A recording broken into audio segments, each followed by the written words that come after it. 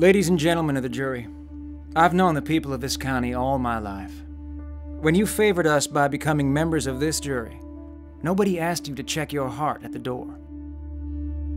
When you go to the jury room, I ask you to imagine that this little girl is your own daughter, granddaughter, niece, or godchild.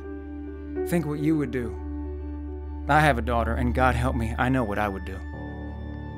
We're here today to serve justice.